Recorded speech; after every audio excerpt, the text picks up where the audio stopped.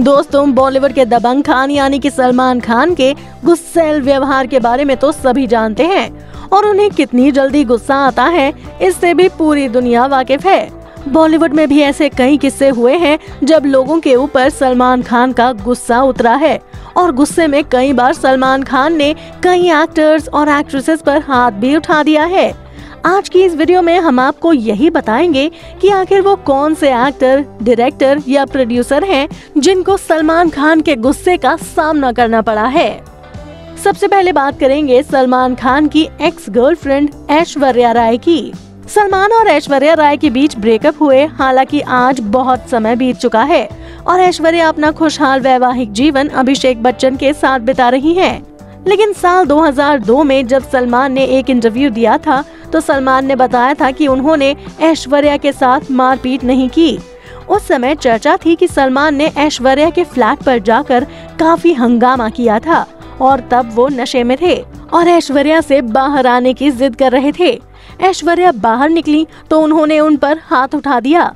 उस समय ऐश्वर्या राय ने अपने कई इंटरव्यूज़ में इस बात का खुलासा किया था कि सलमान खान के गुस्सैल व्यवहार और उनके हिंसक व्यवहार और मारपीट की वजह से ही उनका रिश्ता खत्म हुआ था। वहीं सलमान ने एक इंटरव्यू में ये भी कहा था कि उन्होंने आज तक किसी को नहीं मारा। जब गुस्सा होते हैं तो वो खुद का सिर दीवार पर मारते हैं, लेकिन किसी और को नहीं पीटते। लेकिन वहीं अगर डायरेक्टर सुभाष घाई की बात करें तो इस बात को तो खुद सलमान ने भी कबूल किया है कि उन्होंने सुभाष घई के ऊपर हाथ उठाया था। दरअसल बात ये थी कि ऐश्वर्या सुभाष घई की फ़िल्म ताल में काम कर रही थी और सलमान नहीं चाहते थे कि ऐश्वर्या सुभाष घई के साथ काम करें। और इसी के चलते एक पार्टी के दौरान सुभाष घई के ऊपर सलमान खान ने हाथ उठा दिया था। सलमान का कहना था कि सुभाष घई ने उन्हें गुस्सा दिलाया था उन्होंने मेरी गर्दन पकड़ ली थी। मुझे चम्मच से मारा था और प्लेट मारने के लिए उठा ली थी। तो मैंने भी गुस्से में उन्हें थप्पड़ जड़ दिया, लेकिन अगले ही दिन मैंने माफ़ी मांग ली थी। और दोस्तों, आपको बता दें कि बाद में सलमान खान ने सुभाष घई के साथ फ़िल्म युवराज में भी काम किया था।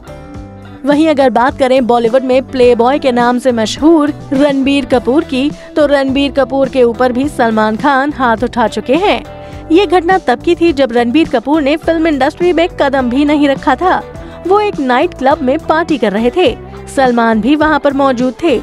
रणबीर को सलमान जानते भी नहीं थे। लेकिन इन दोनों के बीच कुछ ऐसी झड़प हुई कि सलमान ने गुस्से में रणबीर को थप्पड़ मार दिया। रणबीर जब घर पहुँचे तो बात ऋषि कपूर तक पहुँची। ऋषि कपूर के ज़रिए ये बात सलमान खान के पिता सलीम खान तक पहुँची। तब सलीम खान सलमान पर बहुत नाराज़ हुए और सलमान को फटकार लगाई और तुरंत रणबीर और ऋषि कपूर से माफ़ी मांगने को कहा और इसी के चलते सलमान खान ने ऋषि कपूर से माफ़ी भी मांगी थी।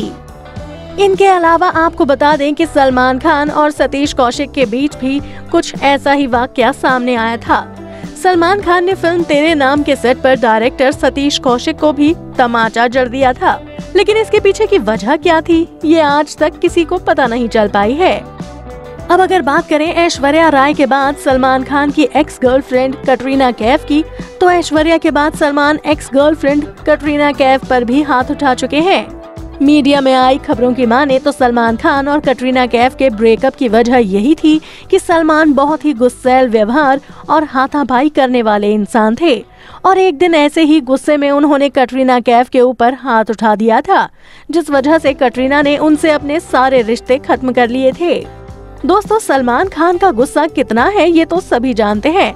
और सलमान जब किसी से गुस्सा हो जाते हैं तो वो उनको आसानी से माफ़ भी नहीं करते हैं। बॉलीवुड में ऐसे कई सितारे हैं जिनसे सलमान खान बहुत नाराज़ रहते हैं। उसी लिस्ट में विवेक ओबेरॉय, जॉन अब्राहम, शाहरुख खान और शाहिद कपूर के नाम भी शामिल हैं।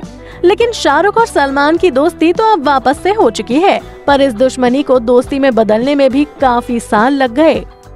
तो दोस्तों, क्या आपको भी लगता है कि सलमान खान को अपने गुस्से पर कंट्रोल करना चाहिए? आप अपनी राय हमें कमेंट करके ज़रूर बताएँ। और अगर आपको हमारी ये वीडियो पसंद आई हो तो इसे लाइक और शेयर करना ना भूलें। साथ ही बॉलीवुड इंडस्ट्री से जुड़ी और भी ऐसी ही मसालेदार खबरें देखने के लिए आप हमारे चैनल को सब्सक्राइब भी ज़रूर कर लें। फिर मिलूँगी बॉलीवुड की एक और ऐसी ही चटपटी खबर के साथ। तब तक के लिए बाय बाय